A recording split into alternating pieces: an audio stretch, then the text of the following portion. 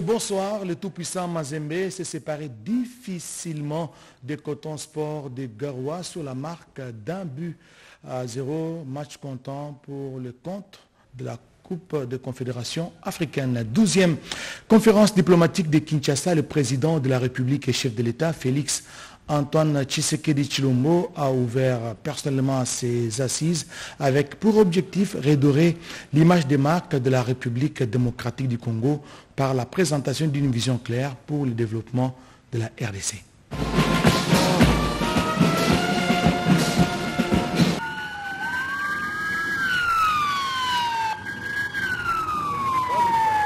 Réorienter l'appareil diplomatique vers le développement et la paix c'est tout l'enjeu de la 12e conférence diplomatique ouverte ce samedi 26 février à Kinshasa.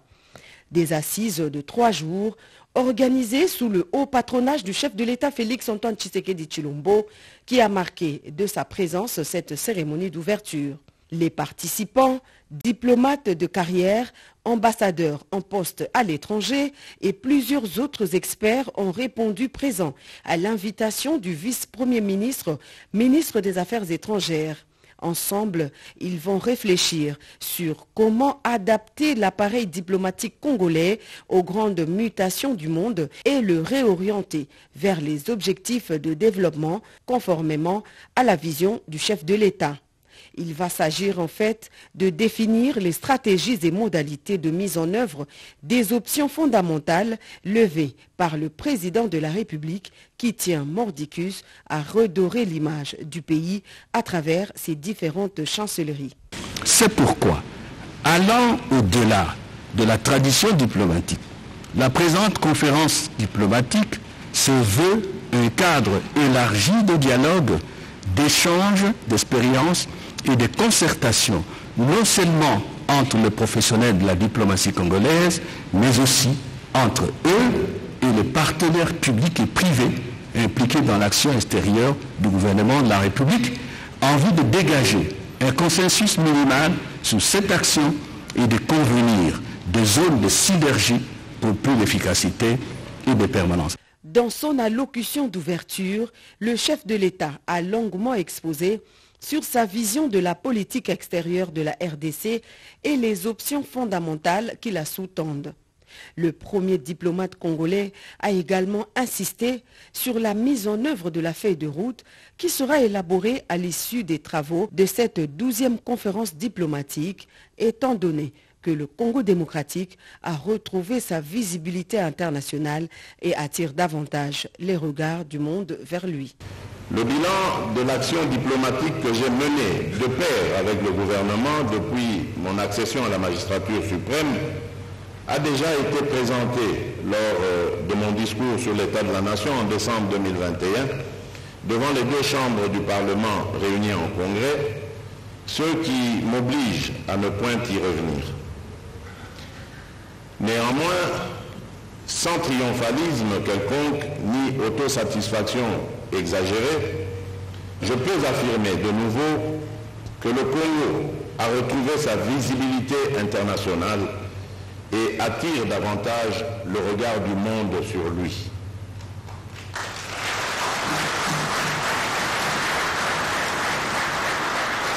Nous sommes en train de nous délester du lourd fardeau dont nous avons hérité et de construire une nouvelle image de nous-mêmes. C'est dans la droite ligne de cette image renouvelée que notre gouvernement a, au gré de mes différents périples et contacts diplomatiques, signé plusieurs accords de coopération et conclu des partenariats prometteurs avec des investisseurs publics et privés. L'heure a sonné pour que toutes les opportunités générées par ces instruments juridiques soient exploitées dans l'intérêt de notre peuple. Je demande avec insistance au Premier ministre, au vice-ministre, ministre d'État, ministre, ministre délégué et vice-ministre, ainsi qu'à toutes les administrations des ministères sectoriels concernés de se mettre à pied d'œuvre afin que nos compatriotes palpent du doigt les dividendes des accords et partenariats conclus notamment avec un bon nombre de pays amis. À la magistrature suprême a brisé l'isolement dont a fait l'objet la RDC et lui a automatiquement ouvert la voie à une nouvelle ère diplomatique.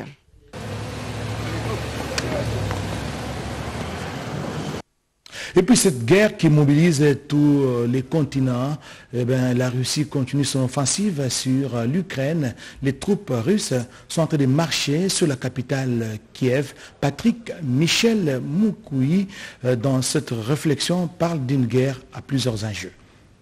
La nuit de samedi à dimanche a été dure, a affirmé le président ukrainien Volodymyr Zelensky, qui accuse la Russie de tirer sur des habitants. Au quatrième jour de combat pour la conquête de Kiev, les troupes russes sont entrées à Kharkiv, deuxième ville du pays de plus d'un million d'habitants, et les combats au sol sont engagés avec des troupes ukrainiennes qui résistent encore. Kremlin s'est dit ce dimanche prêt à discuter avec Kiev, mais seulement en Biélorussie. Offre pas totalement rejetée par l'Ukraine, qui exige un autre lieu pour se pourparler, considérant la Biélorussie comme base arrière de l'invention russe en Ukraine. L'Union européenne a finalement annoncé de sanctions financières contre la Russie. La suspension du pays au réseau SWIFT est la plus grande sanction qui coupe tout accès aux banques russes à ce réseau bloquant ainsi les transactions monétaires, les importations et exportations. Les conséquences sont déjà palpables avec la chute de marché russe. L'Allemagne, dépendant pourtant du gaz russe, est l'un des rares pays qui brise la glace et envoie des armes à l'Ukraine. 1500 lance-roquettes et 500 missiles vont bientôt être acheminés à Kiev, a annoncé Olaf Scholz. Le chancelier allemand a également saisi la sortie devant le Bundestag en session extraordinaire pour annoncer la hausse du budget de son pays avec 100 milliards de dollars de plus pour l'armée. À Berlin ce dimanche, des milliers de personnes se sont rassemblées pour dénoncer l'invasion de l'Ukraine qui a déjà fait plus de 360 000 déplacés dans les pays voisins à l'exemple de la Pologne. Le Haut Commissariat pour les réfugiés parle déjà d'une crise humanitaire. Plusieurs chercheurs et politologues pensent que l'idée de Vladimir Poutine serait de constituer l'Empire russe en réunissant tous les territoires qui partagent la langue russe et renforcer ainsi la puissance de la Russie dans le monde. Selon le chef de la diplomatie britannique, la guerre en Ukraine pourrait durer deux années. Retour en RDC, une forte délégation de la province d'Ilualaba a séjourné dernièrement dans, en Zambie justement, conduite par la gouverneure intérimaire, l'honorable Fifi Masuka Saini. Cette mission est allée s'inspirer de l'expérience euh, zambienne en matière de construction des routes. De sa mission officielle à Lusaka, la délégation gouvernementale du Lualaba a été conviée à la Direction générale d'Asphalt Road of Zambia, ARZ. Fifi Masuka Saini et sa suite constituée des députés provinciaux, des membres du gouvernement provincial et des experts de son cabinet ont été reçus par Joseph Mutoto Mwewa, PDG d'ARZ. Cette entreprise spécialisée dans la construction des routes, ponts et autres a voulu attirer l'attention des animateurs des institutions du Lualaba pour l'accompagner en cette période où elle est engagée à relier les cinq territoires de la province grâce au travail ardu. Dans le cadre de la vision du président de la République Félix Tshisekedi, Juste après, le PDG Joseph Mutoto a conduit la délégation des officiels Lualabais dans les installations de l'entreprise Capital Fisheries où il est actionnaire une entreprise basée dans l'agroalimentaire. La délégation Masuka a eu d'abord un bref échange avec les gestionnaires avant de procéder à la visite des différentes structures dont la chambre froide, l'usine de fabrication des cervelas, de la viande hachée, la pièce d'exposition des poissons frais, viande de bœuf, viande de porc, poisson fumé, le tilapia et autres produits pour la femme numéro 1 de la province du Cobalt, cette visite s'inscrit dans le cadre d'échanges d'expériences pour diversifier l'économie dans sa juridiction. C'est un Africain qui est en train de nourrir l'Afrique, nous pouvons dire, de nourrir la Zambie et une partie de, la RDC, parce qu'ils ont aussi des dépôts au niveau des Kasumbalesa. Puisque nous parlons de la province euh, du Lualaba, restons-y des délégations persistantes sur la pollution de la rivière Kabomboa. Nous sommes à la hauteur de la cité de Fungurume, pointé du doigt dans cette affaire. L'entreprise Tenke Fungurume Mining a fait cette mise au point que je vous convie à suivre. La nouvelle de la pollution de la rivière Kabombois s'est répandue comme une traînée de poudre. Selon une certaine rumeur relayée par les médias, cette pollution serait attribuée à l'usine à chaud installée à proximité. Face à ces allégations, l'entreprise TFM a tenu à présenter sa position et faire cette mise au point. Je cite, depuis 2020, ces allégations infèrent que Tenke Fungome Mining procéderait déjà à la délocalisation des populations dans la zone de l'usine à chaud de Kabombois. Ce qui a provoqué un élan sans précédent, se traduisant par l'afflux des familles vers cette zone dans l'espoir d'être comptabilisés et bénéficier des indemnités de délocalisation. Ces propos ne sont que des bruits, mais TFM est plutôt en train d'évaluer la possibilité de réinstallation. Fin de citation. Et les responsables de cette entreprise d'ajouter, c'est ainsi que depuis un certain temps, il ne se passe pas un seul jour sans que des images des personnes atteintes de maladies de la peau ne soient publiées sur les médias à portée de main. Le but poursuivi est de relier la surveillance de ces cas de maladie à la présence de l'usine à chaud de Kabombois et de faire pression sur TFM, ce qui profite aux opportunistes, fait des citations. Et TFM en appelle à une collaboration constructive de la communauté sous l'égide des autorités locales et provinciales. Des programmes à impact visible, notamment la construction des routes, des écoles et autres biens communautaires ont été exécutés au grand bonheur des habitants de la cité de Fungurume.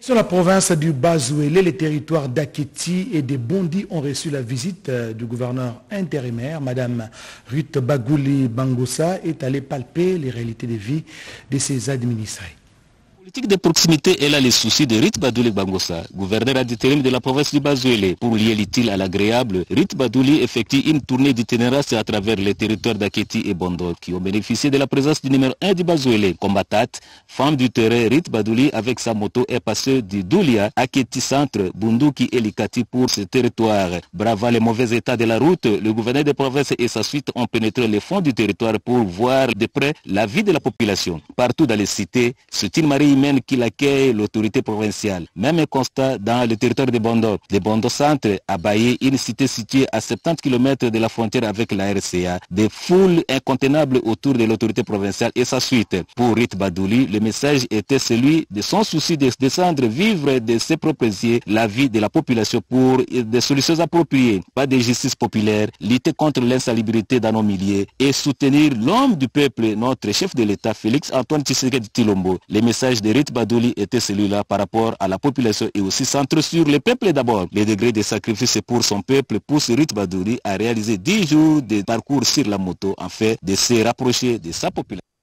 D'une province à une autre, la direction générale euh, de la DGDA euh, Nord Kivu a un nouveau directeur provincial. Il s'agit de Jodel Diongo Belinga qui a pris officiellement euh, ses fonctions devant témoins les autorités provinciales. DGDA Nord Kivu a un nouveau directeur provincial. Il s'agit de M.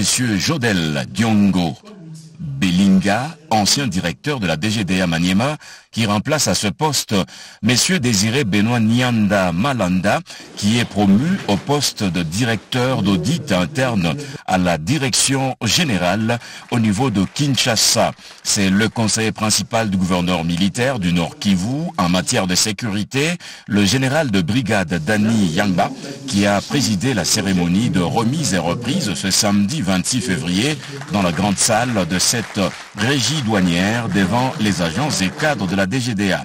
Désiré Benoît Nianda, directeur sortant, a félicité les agents de la DGDA car avec eux, ils ont contribué à la mobilisation des recettes de l'État depuis qu'il est à la tête de cette institution depuis 2015. Jodel Diongo Belinga, directeur entrant, a remercié sa hiérarchie pour avoir placé la confiance en sa modeste personne. La population du Nord Kivu, précisément les opérateurs économiques, doivent se sentir à l'aise parce que nous venons pour travailler ensemble avec la main de la main. J'ai été formé dans l'école de la facilitation, donc je viens pour travailler ensemble avec les opérateurs économiques. Il n'y a pas de peur à cela. Il n'appartient pas à un directeur provincial de changer la réglementation en matière de perception. La loi a été votée au Parlement, les tarifs sont ceux votés par le Parlement, le Parlement et nous, nous allons faire qu'appliquer ces lois-là. Il a promis de travailler en parfaite collaboration avec les autorités provinciales pour qu'il ait le soutien qu'il faut afin de mieux faire son travail. Il a appelé les opérateurs économiques au calme et à une bonne collaboration pour qu'ensemble l'on puisse contribuer à la maximisation des recettes de l'État. Et puis cet atelier de renforcement des capacités des partenaires de la Caisse nationale de sécurité sociale CNSS dans la province de la Chopo sur le régime général de sécurité sociale, un appel a été lancé pour les paiements des cotisations. Pendant deux jours, il était important pour la direction provinciale de la Caisse nationale de sécurité sociale d'éclairer la lanterne des syndicalistes, deux entreprises affiliées à la SNCS sur les différentes allocutions familiales. Qui sont les bénéficiaires et quelles sont les conditions ainsi que les formalités à remplir pour bénéficier de ces allocutions? Les explications du directeur provincial de la SNCS Chopo, Thomas Olubambali. Les allocations de maternité, l'indemnité journalière de congé de maternité et surtout les allocations familiales. En général, ce sont des prestations à court terme, c'est-à-dire des prestations que nous servons au mois le mois, au trimestre le trimestre. Nous n'attendons pas comme avec la pension. Les conditions d'ordre général, être immatriculé à la CNCS, justifier d'une activité professionnelle pendant trois mois consécutifs et justifier aussi du versement des cotisations sociales à la CNCS. Les régimes général de la sécurité sociale, la protection sociale en RDC et la branche des prestations aux familles clairement expliquées viennent outiller les syndicalistes pour son fonctionnement. Il salue la bonne foi de la direction provinciale de la CNCS Chopo. Et c'est aussi une bonne chose par rapport à ce que nous ne connaissions pas aussi pour les femmes travailleuses, les enfants, tout tutelle, les enregistrements des enfants au niveau de l'autorité civile. C'est vraiment dans l'intérêt de tous les agents et même cadres de l'État. Ça entre dans le cadre de la protection sociale. Pour une plus-value, les maniocs cultivés dans la province du Kwilu méritent d'être transformés. Les agriculteurs l'ont compris, c'est le travail d'ailleurs auquel ils s'adonnent. La transformation agricole, un moyen par excellence de réduire les pertes post-récolte et d'améliorer la chaîne de valeur de certains produits. Le manioc fait partie de ces tubercules qui exigent la transformation pour apporter une valeur ajoutée devant permettre aux paysans d'en tirer profit. Les agriculteurs réunis au sein du collectif des organisations pour le développement de la rive droite du Quilou s'investissent dans cette culture. Geneviève Mounene, secrétaire exécutive de cette structure, donne ici les avantages liés à la transformation de manioc. Nous transformons en, en micro-cossettes et en farine panifiable de manioc. La farine panifiable, c'est pour la pâtisserie, vraiment toute la pâtisserie. Et le micro-cossette, il y a trois objectifs poursuivis. La lutte contre les maladies liées euh, au manioc mal rouillé, cela veut dire le goitre et le konzo. Deuxième chose, améliorer la qualité du manioc sur le marché. Troisième chose, c'est écourter la durée du séchage. L'acide cyanhydrique, en fait, c'est le goût amer qui est dans le manioc. Mais souvent, c'est le manioc traditionnel. Nous, nous utilisons le manioc doux, où on peut manger même cru. La quantité, en termes de pourcentage de l'acide cyanhydrique qui se trouve dans ces maniocs, sont minimisables. Pour accompagner et encourager les paysans, Coridec organise des sessions de formation de renforcement des capacités, question de les doter des matières pour améliorer la production agricole et assurer leur prise en charge. Les notables du Maniema ont réfléchi sur le développement de leur province. C'était au cours d'une cérémonie d'échange de vœux sont réunis hier samedi 26 février à Béatrice Hôtel les notables de la province du Maniema vivant à Kinshasa, tous rassemblés au sein de l'association Kinduyetu à qui AXBEL. L'occasion a permis aux natifs de la province du Maniema de discuter sur un éventail de questions et faire un focus dans l'optique de booster le développement de la province à travers les projets de 145 territoires. Le moment a été également propice pour une cérémonie d'échange de vœux, question de faire montre de la solidarité. Cette association Kinduyetu, qui réunit tous les notables du Maniema, existe depuis 4 ans avec quelques réalisations à son actif telles que l'octroi des bancs dans plusieurs écoles de la province et des distributions de kits scolaires. La coordonnatrice de l'association Kinduyetu ASBEL, Aline Moulamba, explique. Nous avons réuni les fils du Maniema dans ce beau cadre de l'hôtel Béatrice pour euh, la cérémonie d'échange de vœux de l'association Kinduyetu. Euh, l'association Kinduyetu a comme objectif la solidarité et dans la mesure du possible essayer de booster le développement de la province qui nous a vu naître au travers de nos actions sociales. On essaye de participer à notre échelle dans le développement en soutenant beaucoup plus aussi la jeunesse. Comme à l'accoutumée, la danse exprime les sentiments de joie. Quelques membres en ont exhibé. Direction la province du Sankourou, 900 bêches ont été distribuées aux jeunes euh, de cette province pour les travaux des cantonnages manuels, notamment la réhabilitation des routes qui les relient à d'autres provinces voisines. Les détails dans ce reportage de Jean-Louis Lunga. Les initiatives sont multipliées à ce jour pour concrétiser la vision du chef de l'État. Pour ce faire, la distribution des 900 bêches devant servir à la population de cette contrée d'aménager la route principale qui relie la province du Sankourou et les provinces suivantes. Équateur, Maniema, Lomami, Des oriental et central. Pour motiver la jeunesse, 120 varaises, plus de 30 ballons et une paire de filets sportifs sont mis à la portée des jeunes pour donner le sens à la réflexion du stade Patrice Emery Lumumba. Le cantonnage manuel pour que le passage soit effectif partout. C'est la recommandation ultime. Les chefs de secteur et les chefs de groupement sont mis à profit dans l'exécution de ces travaux qui, certes, vont promouvoir le développement au Sankourou. Cette prise de conscience de la population du Sankourou est manifeste après le passage du chef de l'État, Félix Antoine Tshisekedi Chilombo, dans cette partie du pays. Sensibilisation au vaccin contre la Covid-19, la Croix-Rouge s'en est mêlée. Une campagne motorisée a été organisée à travers les principales artères de la ville de Kinshasa, nous dit Diane Balaka.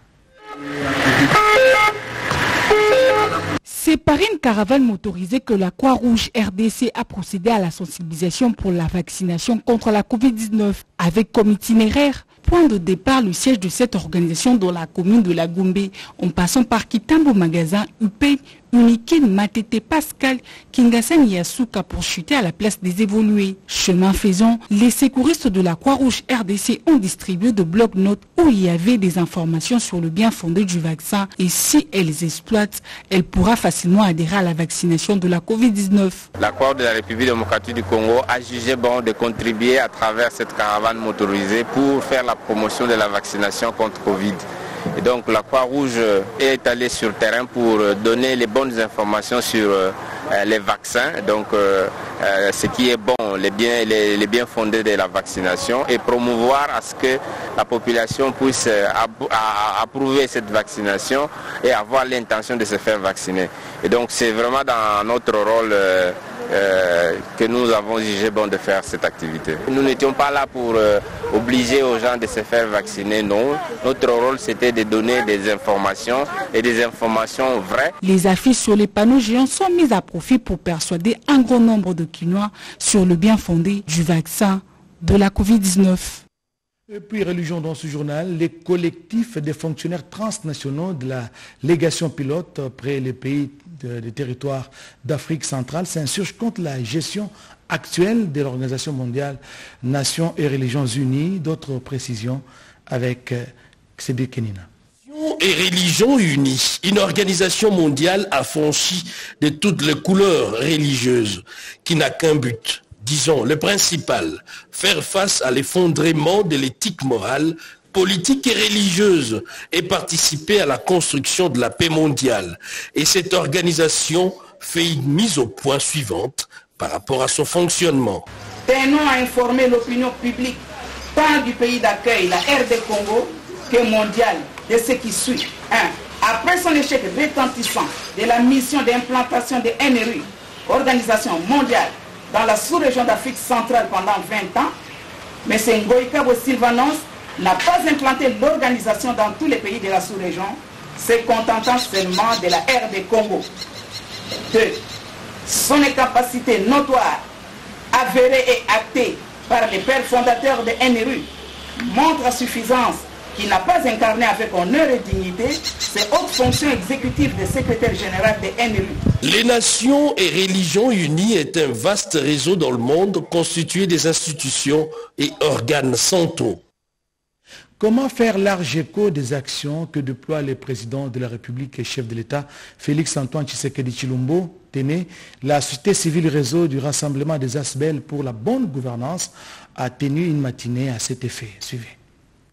Dans le cadre d'un forum qui va se tenir ici à Kinshasa du 27 au 30 avril 2022 prochain, la société civile à travers les réseaux des rassemblements des ONG et ASBEL pour la bonne gouvernance ROABG se prépare déjà pour le bon déroulement de ces travaux où il sera question pour cette plateforme de cogiter sur comment faire large écho des actions du chef de l'État, Félix Antoine Tshisekedi Chilombo, depuis son avènement à la tête de la République démocratique du Congo. Justement dans cette ligne droite que ROABG invite toutes les couches du pays à se départir de toutes les antivaleurs avant de regarder ensemble vers la même direction pour reconstruire ce beau pays qui doit inscrire son nom dans les concerts des nations, a dit le président national de cette société civile. La République démocratique du Congo se voit d'être soutenue par tous ceux qui sont dans la pensée positive de la reconstruction de la nation. C'est pour cela que notre société civile, réseau de rassemblement des ONG et ASBEL pour la bonne gouvernance, avons pris l'initiative de nous réunir aujourd'hui, de tracer des grandes lignes qui nous mèneront à l'organisation du grand forum au mois d'avril. Notons que le réseau des rassemblements des ONG et ASBEL pour la bonne gouvernance se veut un cadre qui soutient les actions du chef de l'État Félix Antoine Tshisekedi Chilombo. Il réunit les hommes de Dieu et les autres acteurs sociaux. À retenir que l'Union sacrée pour la nation n'a pas encore présenté son ticket pour l'élection de gouverneurs et vice-gouverneurs dans la province du Maniema. Les cadres et militants de cette plateforme politique ont renouvelé à cette occasion leur soutien au chef de l'État, Félix Antoine Tshisekedi Chilombo. Redépendant. La nation, tout comme l'UDPS, n'ont pas encore révélé les candidats tickets gagnants pour les postes de gouverneur et vice-gouverneur au Maniema. Le dépôt de la candidature du député provincial Hubert Kindandam ne peut faire l'objet d'une confusion. Dans une déclaration de ce jeudi 24 février 2022 à Kindoum par la bouche de Bouchiri Sefou, secrétaire fédéral chargé de la communication et médias, les trois fédérations de l'UDPS Maniema protestent et dénoncent toute manœuvre et les complots ourdis par les infiltrés dans l'Union sacrée contre l'UDPS. Membre de l'Union pour la démocratie et le progrès social, Fédération de Kindu, Nord Maniema et Sud Maniema, notre soutien indéfectible et conditionnel à son Excellence Félix Antoine Kisekedi Chilombo, président de la République et chef de l'État. Affirmons notre soutien à la hiérarchie de l'IDPS Tshisekedi sous le haut patronage du secrétaire général Augustin Kabouya. Dénonçons les complots politiciens en mode de positionnement s'infiltrant dans l'union sacrée en cherchant à piétiner la vision du chef de l'État afin de reprendre le contrôle de la province du Maniema et continuer à paupériser la population de la province. Demandons aux forces vives de la province du de rester sereines et vigilantes derrière les combattants Afani Idrissa Mangala, gouverneur incontournable de la province du chef de l'État. Le peuple d'abord. Cette foule immense de motocyclistes avec leurs motos en main, une caravane assimilée à une marche de mise en forme sanitaire. Cela annonce les ambitions du gouverneur intérimaire d'Imaniman et son vice-gouverneur désiré de briguer les postes de gouverneur et continuer à servir leur province à l'issue des élections prochaines de gouverneurs. Au cours de cette manifestation de 21 ans d'existence de l'Assemblée générale de jeunes pour le développement d'Imaniema, une association dont Afani Idriss Mangala est l'un des membres. Depuis sept ans, le chef de l'exécutif provincial d'Imaniema a remercié pour l'occasion la population pour leur adhésion à la vision du chef de l'État et à son action de gestion avec impact social résumé dans le peuple d'abord. Depuis les marchés de Mikelenge, dans la commune de Mikelenge, jusqu'à la résidence du gouverneur, les marchands sont passés par l'avenue Beaumont, la tribune centrale de Kindu, l'hôtel de ville, les Cadéco, les ronds-points du palais de la justice et le boulevard Joseph Kabila. Pour les Magnémiens, on ne change pas l'équipe qui gagne. Le chef de l'État Félix Antoine Tshisekedi Chilombo est attendu dans les tout prochains jours dans différentes provinces issues du démembrement du Grand Équateur. Des stratégies sont en train d'être montées pour réserver un accueil chaleureux au président de la République. C'est l'essence de cette réunion organisée ici à Kinshasa.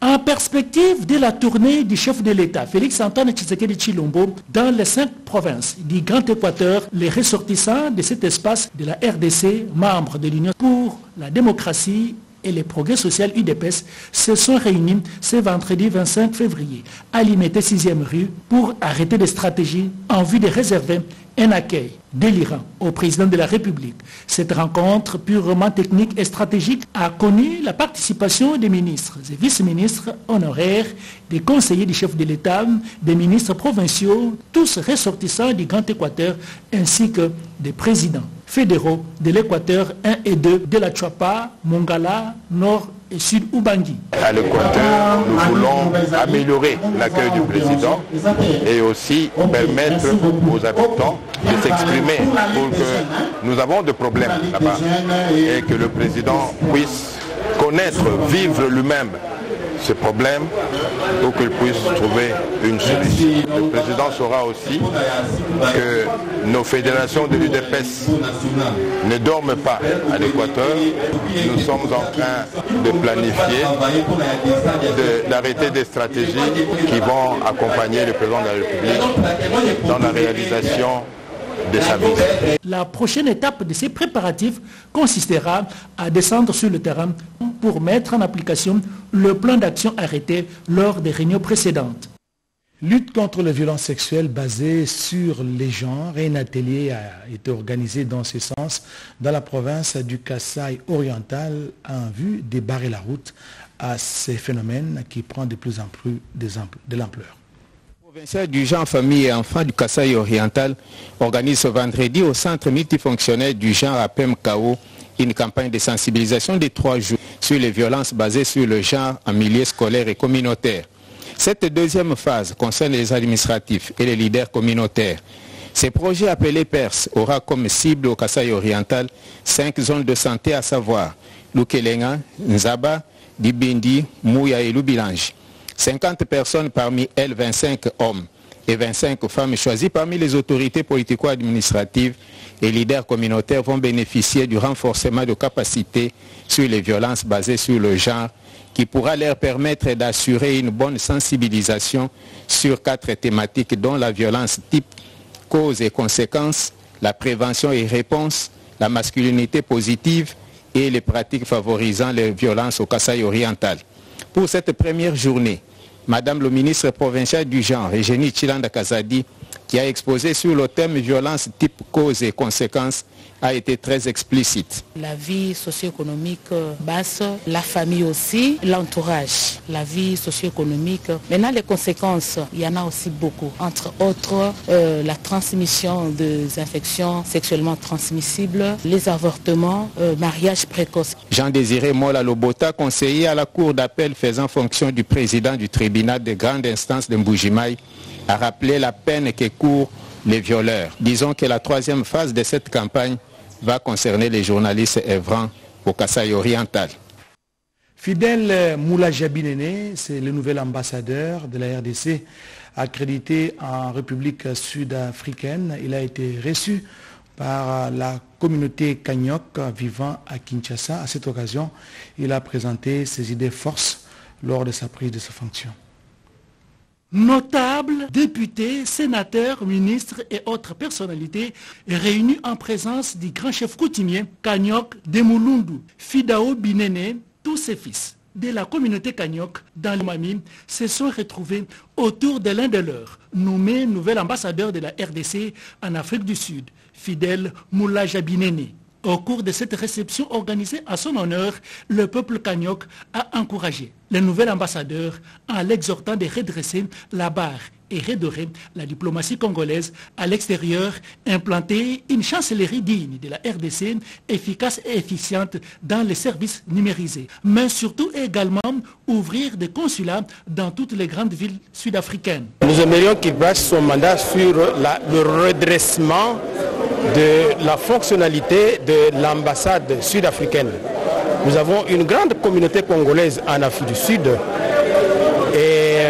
et de certaines plaintes nous sont parvenues sur le temps mis pour le traitement des dossiers, sur l'encadrement des Congolais, sur la réhabilitation de l'image de notre République pour qu'il compte comme un grand pays du continent respectable et respecté de tous. Nous remercions le président de la République, chef de l'État, et nous tenons à féliciter les renominés. Nous lui demandons d'aller représenter valablement la République démocratique du Congo dans la République sœur de l'Afrique du Sud.